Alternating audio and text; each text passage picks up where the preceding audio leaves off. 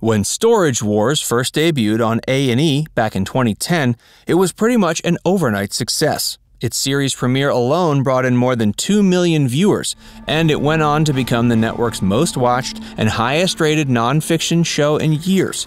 Of course, rival networks immediately jumped at the opportunity to pump out their own knockoffs. Similar shows like Auction Kings and Auction Hunters came and went without winning over a large enough viewer base to justify their existence. But Storage Wars has endured for a solid decade now, partly to do with its colorful cast of oddball characters. And season 13 is set to premiere on the network April 20th, 2021. It's hard to believe this series has been on the air for that long, but we can thank charismatic people like Derek the Gambler Sheets, Dave the Mogul Hester, Jared Schulz, and Brandi Passante for keeping the program afloat after all these years. But what were they like before they experienced their meteoric rise to fame and fortune? Keep watching to find out. Dan and Laura Dotson. Anyone who's seen the series is well aware things can get a little testy when Storage Wars bidders start duking it out over a storage locker. That's precisely the time Laura and Dotson have to rein things in. It's kind of their job. It was this husband and wife auctioneer power couple who first intrigued critics and won over the show's initial fans in 2010. Folks praised them for their high degree of professionalism and vibrant personalities. It was hard not to like them. Dan and Laura's romantic backstory began at an auction, because of course it did. They met back in 1993. Laura would often come to auction to buy restaurant equipment because she was a restaurateur managing a few different eateries. After meeting her three or four times, Dan realized he'd better ask her out. By their second date, they already knew they were perfect for each other and became inseparable. Laura discovered her own affinity for auctioneering when Dan fell ill one day and she ended up filling in for him. She fell in love with it and has been at it ever since. Jared Schulz. Jared and his ex Brandi Passante started dabbling in storage auctions after his prior career fell apart. He previously worked in the mortgage and real estate industry, but unfortunately, the whole scene basically fell apart in California, leaving him scrambling to put food on the table. He was still working for a mortgage company when he purchased and flipped his first storage unit. He didn't really even know what he was doing at the time, but had nothing else to do that day and figured he'd give it a shot. After turning a profit, he found himself completely infected with auction fever. It didn't take long for Jared and Brandi to acquire so much that even their own storage units were filled to capacity.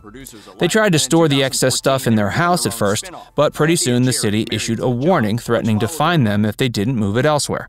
So they came up with the idea of opening a store to distribute all of it. They ended up opening the Now and Then secondhand store in Orange County. Not long after opening that, they branched out and opened a second location in Long Beach. They were already running a business flipping units when they were approached by Storage Wars producers and asked to say a few words on camera. Apparently, whatever they said was enough to secure them a spot on the show. Hey, if you're enjoying this video so far, make sure you give it a like and subscribe to Facts Verse if you haven't already. Brandi Passante Brandi had already been separated from Jared Schulz for more than two years when she appeared on the YouTube show Spirit Talk with Siobhan and Sabrina earlier this year. She mused about her love life when questioned by the co host. She revealed she's been actively dating but hasn't made a solid connection yet. She also revealed she had a turbulent childhood growing up in Texas and often felt like an outsider even in her own home. She never felt like she belonged and found it difficult to accept her lot in life. Passante explained she's always tried her hardest to hold her own in an industry dominated by men, and when she's out in public, she's often plagued with bouts of social anxiety. As such, she says the fame she found from starring on Storage Wars has been both a blessing and a curse. Mary Padian. Mary joined the cast of Storage Wars Texas in 2011. After the spin off series was axed in 2014, she switched to the main series. Love it or hate it, she received the nickname of the Junker by A&E. Padian is a graduate of the University of Texas where she studied journalism. She then moved to New York and scored a job at a prestigious magazine. She served as assistant editor at Architectural Digest, where she mentored under editor in chief Paige Rense. Then she moved back to Dallas and opened a secondhand store called Mary's Finds. In her store, she sells a diverse mix of refurbished and repurposed furniture, vintage, handmade, and rare housewares, and other oddities. Rene and Casey Nezhoda. Husband and wife team Rene and Casey earned themselves the nickname the Bargain Hunters after joining the cast of Storage Wars during its fourth season, and they quickly established themselves as fan favorites. Rene grew up in Germany but credits the unique opportunities she found once in America for her success. The Nezhodas started out with less than $1,000 to work with, but it was their perseverance and keen eye for treasures that helped establish a business still booming to this day. Rene has been buying and selling wares since she was 11, and Casey's also been flipping merchandise since he was very young. Darrell Sheets. Before he was a storage unit guru, the gambler, as he's come to be known, used to work as a landscaper. He wasn't very good at it though, and pretty soon found himself unemployed. After running into financial trouble, he went back to his old boss and begged him for another chance. Instead of hiring him back on, though, he promised to show him how to make money another way. That was, of course, to flip storage units. He decided to take his ex boss's advice and try it out himself. The first locker he bought, he tripled his investment. After that, he was hooked and has been buying and selling units ever since. Brandon Sheets. Brandon is Darrell's son. He used to go by the nickname The Side Bet back when he was on Storage Wars. At first, he was essentially just his father's sidekick, accompanying him at auctions. Eventually, he started bidding on his units. At one point, he even bid against the old man himself. Brandon struggled to be taken seriously before finding his reality TV fame. The storage unit auction game is a difficult nut to crack, and a lot of the old heads will try everything within their power to run a young newcomer out of business, especially if they have a problem with them. Brandon learned these lessons the hard way. These days, he seems to have left the storage unit business behind and has instead taken up a much more traditional job as a UPS driver. Edwina Register and Shayna DeHaan. By the time Storage Wars was on its 11th season, it was in need of a shot of new energy. That's why producers brought on lifelong friends Edwina and Shayna. They previously maintained the YouTube channel Thrifters Anonymous, where they shared their rare and valuable secondhand finds for many years before being discovered by the network. Edwina and Shayna have been friends since high school, where they met in orchestra.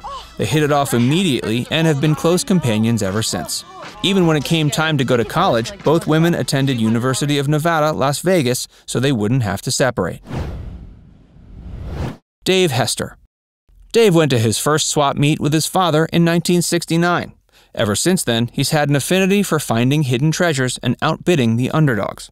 He's earned himself the reputation of being the bad boy of bidding and has established himself as the show's resident villain. He can be highly opinionated and fairly abrasive and has gotten into altercations with fellow crew members on more than one occasion. Barry Weiss. On Storage Wars, he's known as the Collector. That's because he was rich long before the show was even an idea. Instead of searching for treasures to resell and turn a profit, Weiss instead looks for rarities worth keeping for his own private collection. Over the years, he's amassed quite a collection of valuables and collectible items.